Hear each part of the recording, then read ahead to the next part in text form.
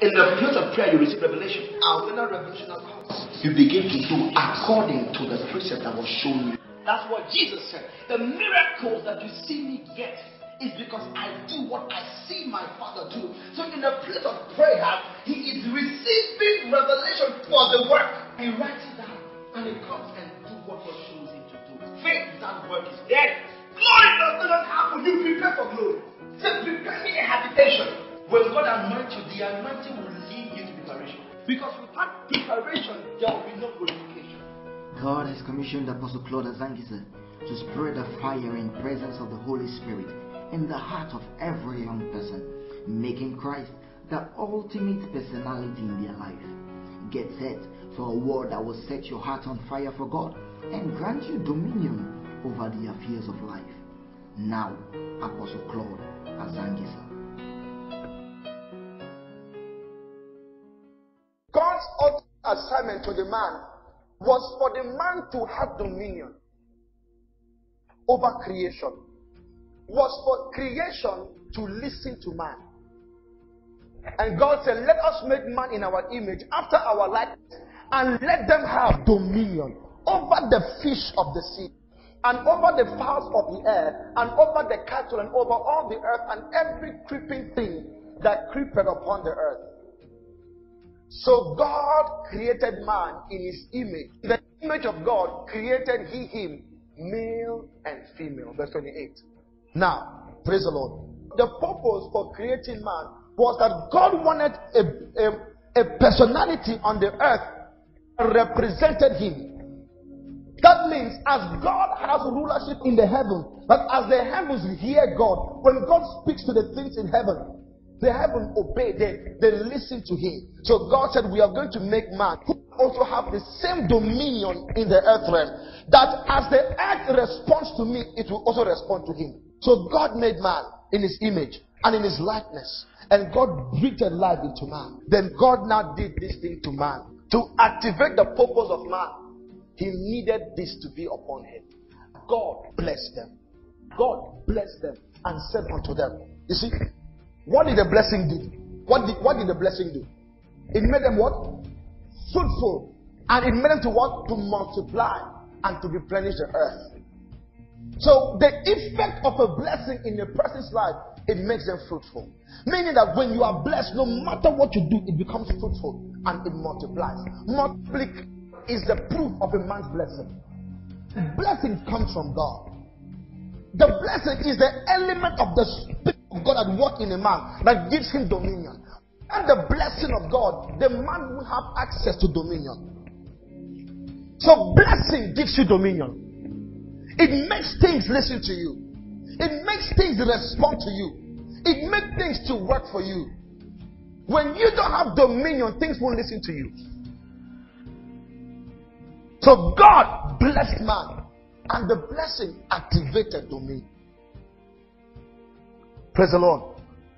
When the lion saw man, instead of the lion rebelling against man, the lion submitted itself to the authority of man. This man was carrying the blessing. So creation listened to him. Everything obeyed him. The plants listened to him. In fact, he named creation. To name there is not in the context of like calling them, giving them names. No. He did not give them names, he named them. To name them means to call them as they are. It's not him calling a name. It means in the heaven, the Iroko tree was called Iroko, but he activated it by, by naming it. He activated it.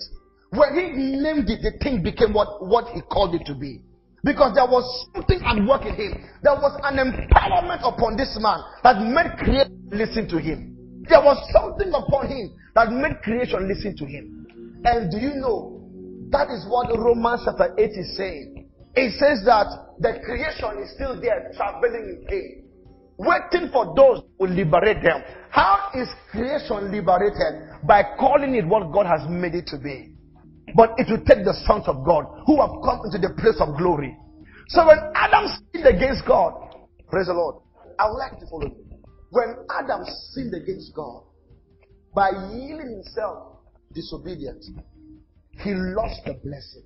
when the blessing of God was lifted from his life, creation could no longer respect it. Because the ultimate element that was able to subject creation under him was the blessing. But when that thing was lifted, the earth began to produce thorns and thistles. The earth would no longer listen to man. The earth became rebellious. The animals became rebellious. The earth fought man. Everything began to fight man. Everything that was made by God to be for him went against him. So man had to be scientific. He had to now apply logic, intelligence, physical knowledge, carnal knowledge to tame creation. And still, it's not successful. Praise the Lord. Because the ultimate tool that God gave them was not the mind to create creation. The ultimate tool that God gave them was the power with the blessing and man lost the blessing. But God, in His infinite mercy, still sought a way to restore the blessing upon man, to give man back his blessing, to dominate the earth again. Because when the authority of man was lifted from him, creation took another course. Creation could no longer respond to the will of God because the ultimate person that's supposed to, to administer the will of God upon the earth lost his place. So creation went course. That's what the Bible says. All the foundation of the earth are now out of course. But the sons of God are those who have God to bring creation back to course. So God had to raise another man. His name was Abraham. God, Abraham. Are you following me? Please follow me. God raised Abraham. Praise the Lord. And told him, Get thee out of thy kindred out of thy father's house into a place that I will show you. Hallelujah. Into a place that I will show you. Abraham obeyed God. He believed God. It was counted unto him for righteousness. He obeyed God, came out of his kingdom, and God told him, My purpose of working with you is because I want to bless you and make you a blessing. There was an agenda of heaven that was supposed to be expressed on the earth. And the ultimate empowerment for that thing was a blessing which man lost. But I want to restore that thing back through you. The blessing. I want to put that blessing back on you.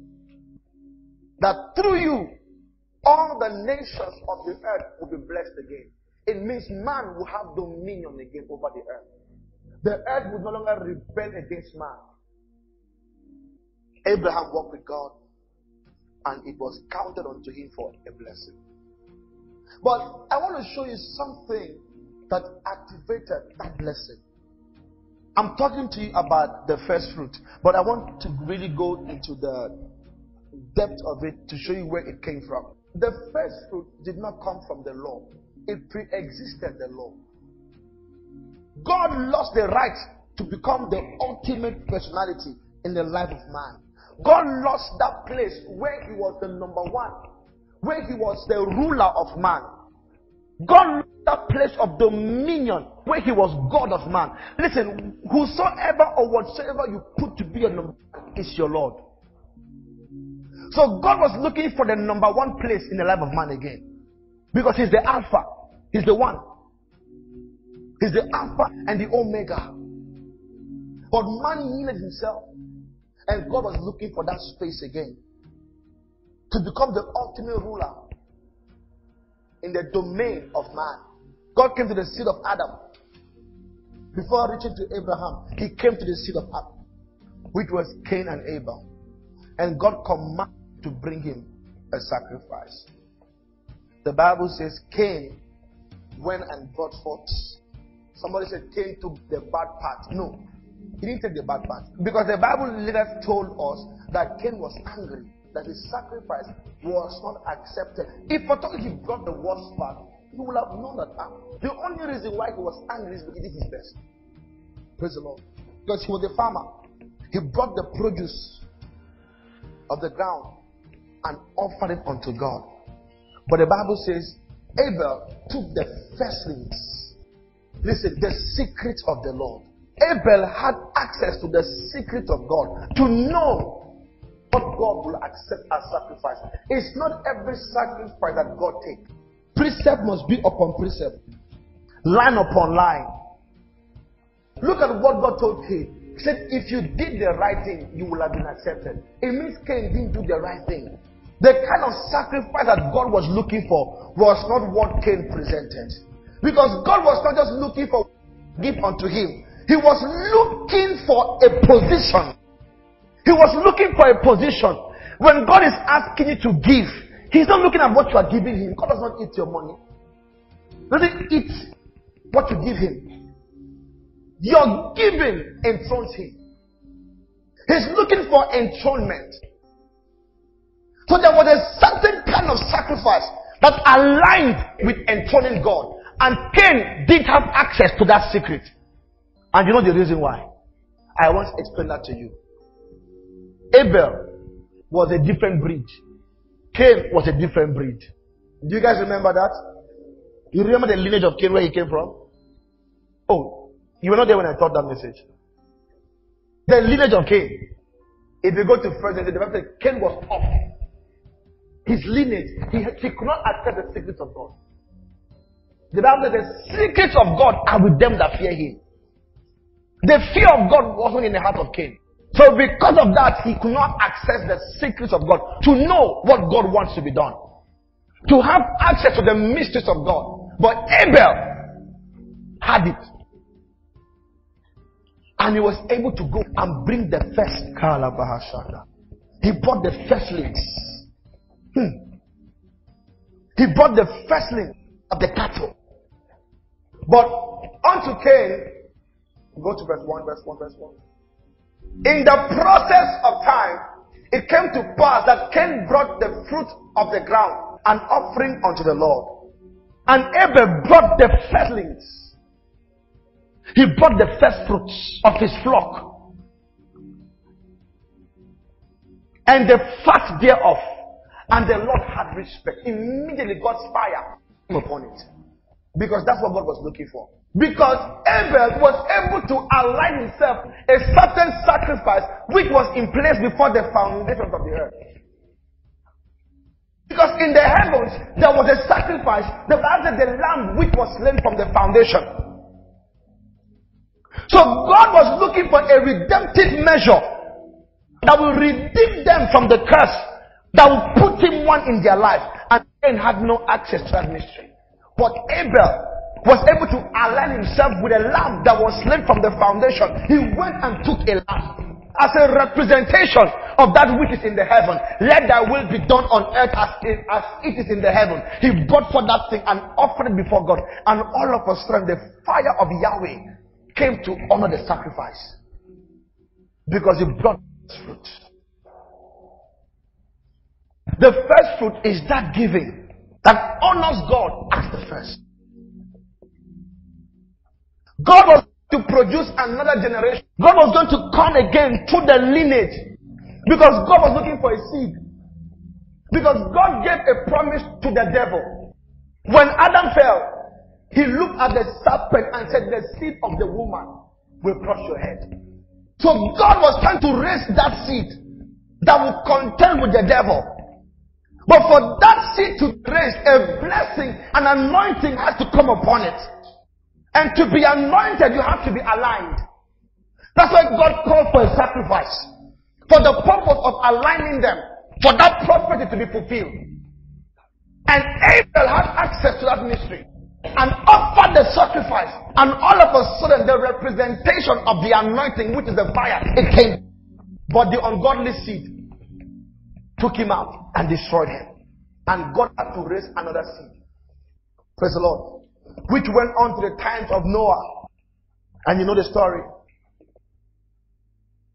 Then from Noah, Abraham, and God now initiated a covenant with Abraham and said, Listen, I remember the promise I made to the woman is that her seed will be the one that will cross the head of serpent.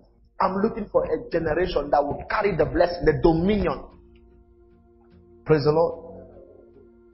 And God came to Abraham. Let's go to Genesis chapter 12.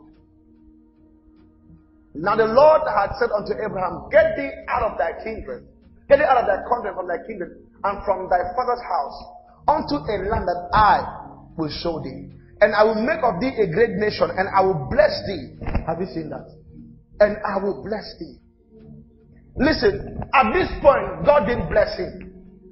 God was just showing him his agenda for him. For the blessing to have rested, something he had to align himself in a certain way. And I will make thee a great nation. And I will bless thee and make thy name great. And thou shalt be a blessing. And I will bless them that bless thee and curse them that curse thee. And in thee shall all the families of the earth be blessed. What does this mean? There is a spirit out there that has the legal right to frustrate the lives of men. But God is saying, through you, I will create a system of exemption. Listen, the blessing of Abraham did not remove the curse, but it created a system that gave man exemption. So when men, when thorns and thistles are attacking men, in this place we have the mark of exemption. When the angel of death is going, killing people in their houses, we have the mark of exemption upon us. So God was telling Abraham, I will show you a system that will exempt man from the curse. There is a curse that destroys man. There is a curse that no matter what a man does, no matter how hard he works, this curse will take away from him. The curse will destroy him. He can't be blessed. Labor is a curse. There's a system of blessing where a man does not labor to be rich, where a man has the favor of God bringing wealth unto him. Kings shall come to your rising. Why? By virtue of a light, of a system that a man has aligned himself to, and kings begin to bring unto him. And God is telling Abraham, through you, you will become the initiator of this system. And that men, for men to connect to this system, they have to, they have to route themselves through you. You will become the initiator of this blessing. Listen, blessing is the power that exempts man from death. It's the power that exempts man from a curse. Praise the Lord. And indeed shall all the families of the earth be blessed. Even though God gave him this word, there was something for him to be done for the word to be accomplished. This was the fulfillment of the word, just a promise that God was giving him. When was this promise activated? Listen, listen, let me tell you something. Everything in heaven and earth revolves around Jesus. Until a man aligns himself with Jesus, even in the Old Testament, they had to be aligned with Jesus Christ. The Passover, what, who, who do you think was that Passover lamb? It was Jesus Christ. For Moses to have come out of Israel, he had to align himself with the system of Jesus Christ. The Passover lamb was the lamb that was sent from the foundations of the earth. God revealed that ordinance unto Moses, and Moses was able to apply the lamb and activated the forces of Jesus Christ. So Jesus manifested himself in the Old Testament because Moses was able to align himself. Every blessing comes from Jesus Christ. Everything in heaven and earth revolves around Jesus. But God has to show you the secret to activate it. So God gave Abraham a promise and told him there is a blessing of redemption that I want to release upon the earth that will redeem man from the curse that Adam brought upon the earth. It will redeem man from it. But for that blessing and dominion to work, you will need to align yourself. So God gave Abraham a blessing. go to the 22. In the process of time, God gave Abraham a seed. Well, in chapter 15, you see where Abraham was telling God that God, what is it that I, I'm serving you, but I go childless. Then God gave him a seed. But before the real seed came, one came, the devil, always trying to project his own seed. And it came to pass, after these things, that God did tempt Abraham and said unto him, Abraham, and he said, Behold, here I am. And he said, Take now thy son thy only son Isaac, whom thou lovest, and get into the land of Moriah and offer him there for a burnt offering upon one of the mountain which I will tell thee of. Listen, even the sacrifice was not offered on any mountain.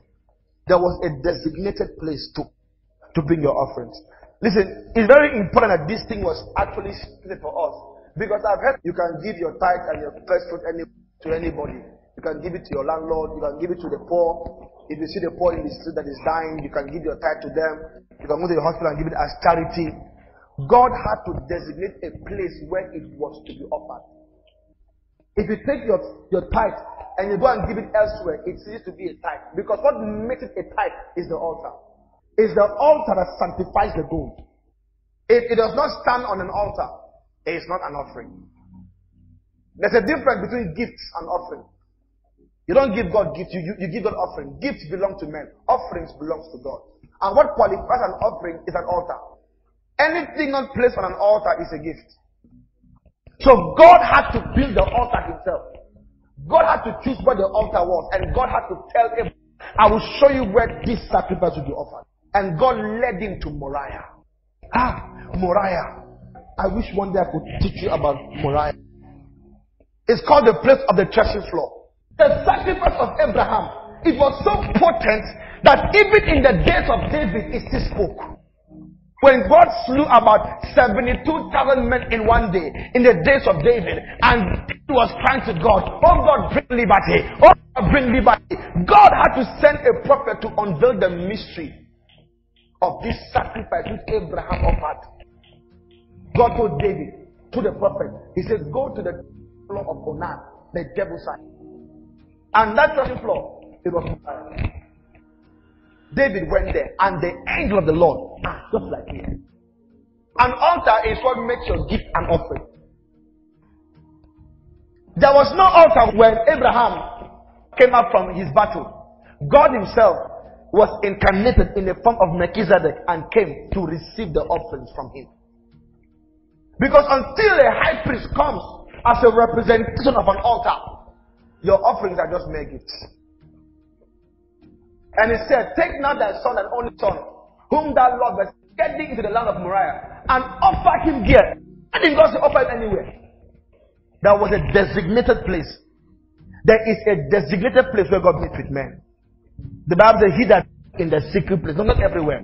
God is not found everywhere. There are places where He comes to meet with men. Take now thy son, thy only son Isaac, whom thou lovest, and get thee into the land of Moriah, and offer him there for a burnt offering upon one of the mountains which I will tell thee of. Hi. There was many mountains there. God said, not all the mountains. There's one that I will show you. And that mountain that I have to tell you where it is. Because on your own you can't find it. All this trouble just to offer an offering. Praise the Lord. Verse 4. And Abraham rose up early in the morning and saddled his and took two of his young men with him, and Isaac his son, and cleft the wood for the burnt offering, and rose up and went unto the place of which God had told him. Then on the third day, Abraham lifted up his eyes and saw the place far off. Oh, hallelujah. And Abraham said unto his son, unto his young men, Abide ye here with the ass, and the lad will go yonder and worship. Listen, worship is important, you do it alone. Because I'm sure if Abraham wants to go with those people, they'll try stopping him from giving the first fruit of the God. They will convince him and say, You think it is God? They're going to kill your son? In fact, they will kill Abraham first. They will attack you. Like some of you, I know your, I know some people they will kill you for giving your first fruit to God. When it comes to giving God offerings, you go alone. You don't go with people. Because this is a relationship with God. Abraham has to tell them, stay yonder. I and the Lord will go yonder and worship. Worship is only alone, you and God. You, God, and your offering. And will come and come again to you. And Abraham took the wood, shakalabahas, and burnt offerings, the wood of the burnt offering, and laid it upon Isaac his son. Isaac was not a young man. He was a man. He was a young man. The Bible said Abraham put the wood on top of him. You, Will your father take you to a mountain place, an isolated place? Alone, as you guys already walking, the place is getting lonely. You're asking him, Papa, where are we going? The next thing you see is just you. there was no need for any just in here. Like some of you, your offering is here quarreling with you. You're looking at the money, the money is looking at you. The money is complaining. The money is telling you all the bills that you have to pay. Isaac, quietly, laid down, and Abraham took wood and put on top of him, and took the fire, and Abraham took the wood of the burnt and laid it upon him. And he took the fire in his hand and a knife, and they went both of them together. And Isaac spoke unto Abraham, his father, and said, My father. And he said, Here I am, my son. And he said, Behold, the fire and the wood. but where is the lamb for the burnt offering? And Abraham said, My son, God will provide himself a lamb for burnt offering. So they went both of them together. And they came to the place which God had told him of. And Abraham built an altar there and laid the wood in order and bound Isaac, his son, and laid him on the altar upon the wood. And Abraham stretched forth his hand. Isaac was not there shouting, Mama! Mama! He was not shouting, Mama! No, he was there quiet. No argument. And Abraham stretched forth his hand and took the knife. Now, look at this. Who is this Isaac? Isaac was the son that Abraham was believing God for. Abraham was about, about 99 years old when he was trusting God for a child. 100 years looking for a child, waiting all his life. And now, waiting for another period of 25 years. When God now gave him the son, God now said, Take that son and offer him. Why? Because that was the first. I'll show you, don't worry. And Abraham stretched forth his hand and took the knife to slay his son. And the angel of the Lord called upon him out of heaven and said, Abraham, Abraham. And he said, Here I am. Here am I. Lay not thy hand upon the lad, neither do thou anything unto him. For now I know that thou fearest God. The giving of your first fruit is the proof of your fear for God. When you withhold the first fruit and the tithe, is a sign you have no fear and reverence for Him. So your first fruit is a, is a, is a show of honor to God. Is a show that you, He is number one in your life. God does not just bless you, He blesses honor. You make yourself honorable and the blessing will begin to work to activate this kind of blessing in your life. And he said, Lay not thy hand upon the lad, neither do thou anything. For now I know that thou fearest God. Seeing that thou hast not withheld thy son, thy only son from me. And Abraham lifted up his eyes and looked, and behold, behind him, a ram caught in his thicket by his horns. Listen, when you give your first to God will provide. They were in a wilderness when there was no means for anything to come. This was Moriah. Are you kidding? In a, in, in a place of mountains. And Moriah was a designated mountain. Where will you find a cow? The Bible says, be not wise in your own understanding. To trust in the Lord with all your heart. And lean not on your own understanding. In all your ways acknowledge him. Look at this. And Abraham lifted up his eyes and looked, and behold, behind him, a uh, ram caught. Listen, when you give your first food, there's that ram that is caught. Don't think of tomorrow. Don't think of where will I pay my bills. God has a ram caught horn waiting for you. And Abraham lifted up his eyes and looked, and behold, behind him a ram caught in a thicket by his horn, by his horns. And Abraham went and took the ram and offered him up for a burnt offering in the stead of his son, instead of his son. And Abraham called the name of that place Jehovah Jireh. Look at how the name you are calling Jehovah Jireh. It came as a result of a man's encounter with God. This name, each time you are calling this name, this is where it came from. A man that, that took his all to God, having no hope, but still trusted God in. Can you trust God in the wilderness of your life, where all the bills are shutting, and yet still you have to give God that first fruit.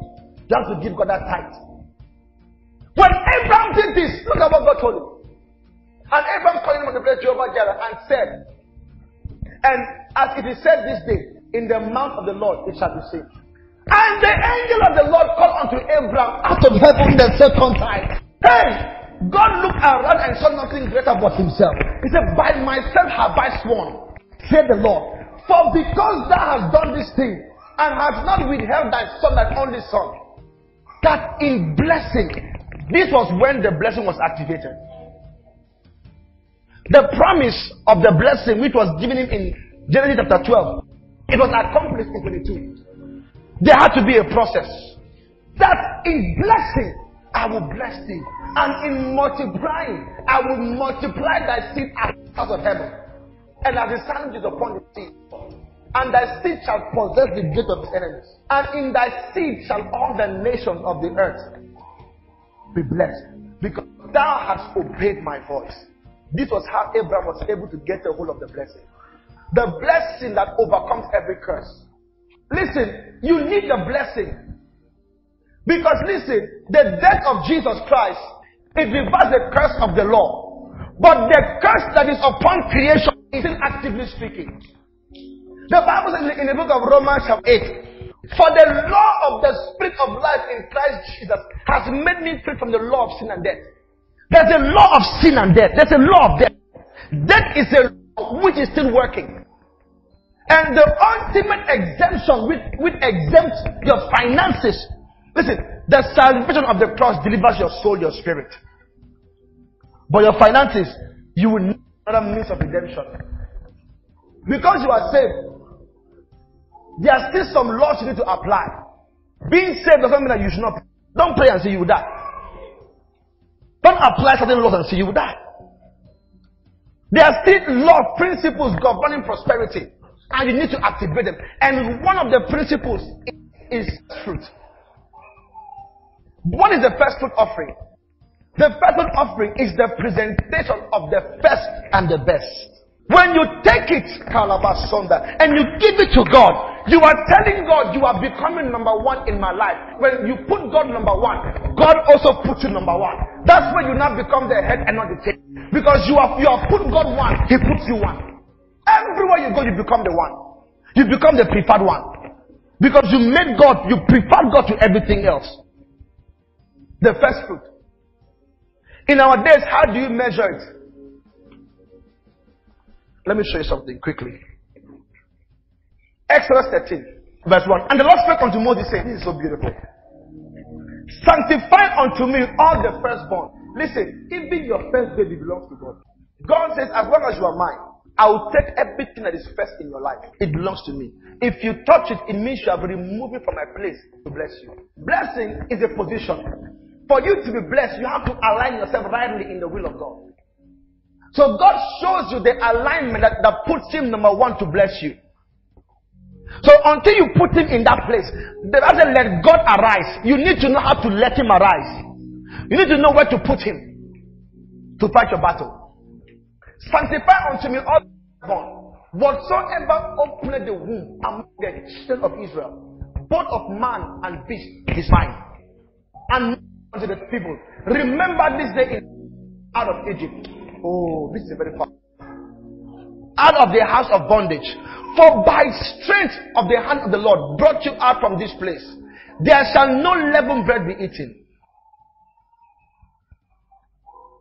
This day came ye out in the month of Abib. And it shall be when the Lord shall bring thee into the land of the Canaanites, and the Hittites, and the Amorites, and the Hivites, and the Jebusites, which is swear unto thy father, to give thee a land flowing with milk and honey, that thou shalt keep this service in this month. Seven days shall thou eat unleavened bread, and in the seventh day shall be the feast of the Lord. Unleavened bread shall be eaten seven days, and there shall no leavened bread be seen with thee. Neither shall these are mysteries. These are all mysteries. Go down. Saying, This is done because of what the Lord did unto me when I came out of Egypt. And it shall be for a sign unto thee, unto thy hand, and a memorial between thy eyes, that the Lord's law may be in, the, in, in thy mouth. For with a strong hand had the Lord brought out of Egypt. Thou shalt keep this ordinance in this year from year to year. From year to year. Now, let me explain that to you. Remember, This is very important that you understand it. Remember, when Israel went into bondage in Egypt, it was a prophecy that God told Abraham. God told Abraham, Your seed will go into captivity, and they will be there for 400 years. And in the 400 year, I will redeem them. I will deliver them out of Egypt, out of after 400 years. That was the word that God gave unto Abraham. And who was that seed? That seed was Jacob. Right? The seed of Jacob. They were the ones that were taken into captivity. And who is the son of Jacob? Isaac. And who is Isaac? Isaac was the sacrifice. Right? Isaac was the firstborn which Abraham gave to God. And that firstborn was now locked up inside Egypt. After 400 years, God now came to bring his first fruit out to deliver the seed of Abraham. And Pharaoh said he won't let him go. You know what God told Pharaoh? He said, Pharaoh, let my people go. Pharaoh refused. God told Pharaoh, Pharaoh, you have my first fruit. You have my first fruit. Because you have my first fruit, I will kill all your first fruits. Listen, the first fruit makes God to rise up to avenge your cause. If there was no offering, there will be nothing, there will be no legal ground for God to operate to fight that battle for you. But by virtue of your first fruit, it gives God the legal right. When men are talking against you in secret place, God says, Don't talk against my first firstborn. Your firstborn is powerful. God had to kill all the firstborn of Pharaoh because he had his firstborn. And when he did it and brought them out, then God said, The first fruit offering, it shall be an ordinance forever as a memorial that you came out of Egypt. Because we still came out of the spiritual Egypt to the firstborn of God. Jesus Christ is still the first fruit of God. Praise the Lord. The first fruit offering is powerful. Let me say something else. Those of you who don't believe in it, I don't know what you're doing with your life. It's one of the most powerful offerings in the Bible because it has a direct association with Jesus Christ. It's just as powerful as the tithe. Praise God. Are you with me? Look at Leviticus 23, verse 9. And the Lord spake unto Moses, saying, Speak unto the children, unto the children of Israel, and say unto them, And ye be come into the land which I give unto you, and shall reap the harvest thereof. Then ye shall bring a sheaf of the first fruit of your harvest unto the priest. And he shall whip the sheep before the Lord to be accepted for you on the morrow after the Sabbath, and the priest shall whip it. Praise the Lord. We are reading some scriptures quickly. Exodus 34, verse 26. Exodus 34, 26. The first fruit, the first of the first fruit of thy land, thou shalt bring unto the house of the Lord thy God. Thou shalt not sit a kid in his mother's milk. But here you see that God is saying that the first fruit belongs to God. God lays claim on it. And listen, if you give it to God, God will still come for it. Because he has an attachment to it. It's better when God tells you to come, you come. Don't let him come and come, come and take you by force. Because when God comes to take you by force, you won't like it. Go and ask Jonah. When God comes to take somebody by force, you find yourself in the fish's mouth for three days. Don't let him come and take that person by force. Whether you like it or not, God will take it. But when he takes it, there's no blessing attached to it. It's a must. One way or the other, the money will not find itself going away. If God doesn't take it, the, the devourer will come and take it. He said, This is a system that rebukes the devourer. But when you give it to God willingly, the blessing attached to it is enormous. It's a symbol of your faith. Praise the Lord. Oh, am I am I talking to somebody? Proverbs chapter 3, 9 to 10. Honor the Lord with thy substance and with the first fruit of all thy increase. So shall thy barns be filled with plenty. Look at this. When you honor God with the first, what happens? He said, Your barns will be filled with plenty. Do you have amplified?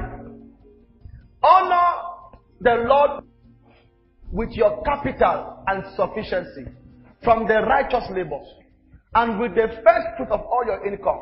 So shall your storage places be filled with plenty, and your vats shall overflow with new wine. Hey, so shall your storage, your bank account, so shall your storage places be filled with plenty. Your vats shall be overflowing with new wine. But I like how he says, honor God. It means your giving is the way to honor the Lord. I you the basis of it. Hallelujah. John 3.16. John 3.16. We know it. For God so loved the world, He gave His first fruit. And He gave His only begotten. Listen, for God to have won the whole world, He had to give His only begotten Son. Even God gave His first fruit. How do you give your first fruit? Okay. When you give your first fruit, first fruit I give you number one, when you have a new job. When a new job is given unto you. When you get a new job, the first fruit of that job it belongs to God. You take it and you honor God with it. The first salary of the first or the first income that comes to you in a year. The first income. For those who don't earn salary, the first income. Praise the Lord. And number three, all job promotions. Like in a job, you got a promotion.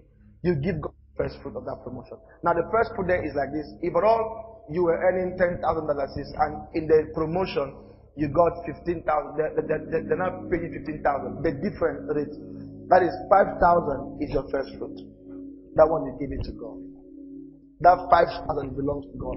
But some people they like to give God everything, the whole thing. That is as a result of, of your faith. So that's when you actually give God the first fruit. Go to um, Ezekiel Where do you take your first fruit? You take your first fruit to the priest, you take it to the pastor, you take it to the one that oversees you spiritually. You don't take the first fruit to your mom, to your dad, you take it to an altar. You take it to the altar. Because that's where the blessing is. No, you know, there this human culture that actually honors that where you take it to your mom or your dad. No. God is the one that you take it to. The second one, you can, you can give it to them. But the blessing sits upon you when you honor God. Amen? I'm teaching you the ways of the kingdom. These are things many people do not know. Ezekiel 44. Go to verse 29 first. They shall eat the meat offering, the sin offering, and the trespass offering, and every dedicated thing in Israel shall be theirs. And the first of all thy first fruit, and the first of all thy first fruit of all things and every oblation of all, of every sort of your oblation shall be priest. He shall also give unto the priest the first of soul, that he may cause the blessing to rest in thy house. So you take the first fruit to one who oversees you as a priest of God, and he causes the blessing to rest upon you. Your first fruit is a demonstration of your faith. Now, the first fruit is the first and the best. Somebody said, Oh, how about those of us who are not salary earners that will do business? You know the one that's the best and the one that's not the best. Listen, the quickest to secure your finances, when you give God your first He secures your job. And the curses upon the earth will lose its power to speak against you because you've activated the means of redemption through your first fruit. So you redeem yourself when men are cast out. You are not, you are not going anywhere because of the system that you've aligned yourself to speak for you. To give to God your first fruit. Give to God your tithe. Praise the Lord.